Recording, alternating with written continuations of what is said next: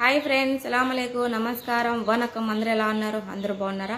అందరూ బాగుండాలి. అందులో నేను ఉండాలని కోరుకున్నాను ఫ్రెండ్స్. ఈ లైవ్ పెట్టిన కారణం ఏంటంటే కొంతమందికి కొంతమందికి అంటే అర్థమయ్యేలకు అర్థమవుతుంది. అందరికి కాదు.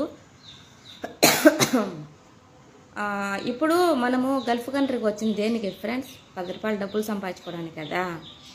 ఆ డబ్బులు సంపాదించుకొని మనము అంటే మగవాళ్ళైతే మందు తాగడం జల్సాలు తాగడం జల్సాలు చేయడము హ్యాపీగా ఏ వేడు నా అంతటోళ్ళు ఇంకా ఎవరు లేరు అని అనేది కాదు. నేను కూడా సంపాదించాను? నేను కట్టుకుంటే రోజు ఒక చీర కొనొచ్చు. కొత్త చీర రోజు కట్టచ్చు. నాకు ఆ కెపాసిటీ ఉంది ఈ గల్ఫ్ కంట్రీలో. కానీ నేను కొనను. ఎందుకంటే నేను పది రూపాయలు సంపాదించేటప్పుడు ఒక్క రూపాయే ఖర్చు పెడతా. నేను పీసినారి. అబద్ధం చెప్పాను. తొమ్మిది రూపాయల లెక్క ఎత్తబెట్టే రకం. ఎందుకంటే ఈడ వీళ్ళు కాళ్ళతో చెప్తే పని నేను చేత్తో చేస్తున్నాను ఎందుకు? నా పిల్లలు ఉన్నారు కాబట్టి. ఫస్ట్ నేనేం చేయాలా? నేను కానీ మిగతా పేరెంట్స్ కానీ మన పిల్లలకి చూసుకొని తర్వాత పక్కన పిల్లలకి చూసుకోవాలి? అన్నం దానం కావచ్చు బట్టలు కావచ్చు మంచి చెడ్డ కావచ్చు. ఓకేనా ఫ్రెండ్స్? మన పిల్లోళ్ళే ఒకరి మీద భారం వేసి ఏమి? ఒకరి పిల్లలకి అన్నదానం చేపించే అదేం గొప్ప? నువ్వు చెప్పు.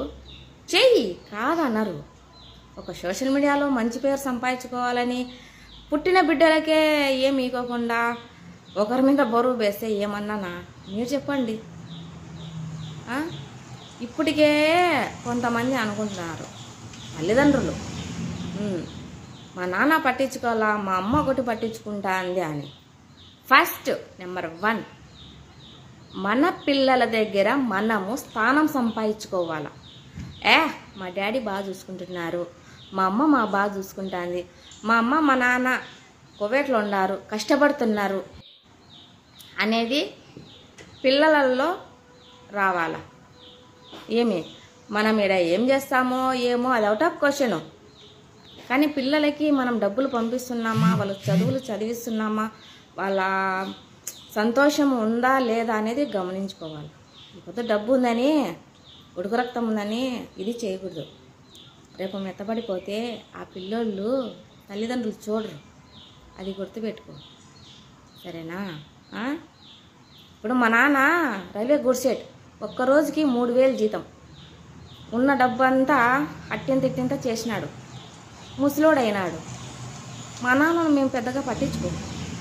ఉన్నప్పుడు ఇది చేసినాం ఇప్పుడు? కానీ ఒక్కొక్కసారి మాకు బాధ అనిపిస్తే సాయం చేస్తాం మా నాయనకు.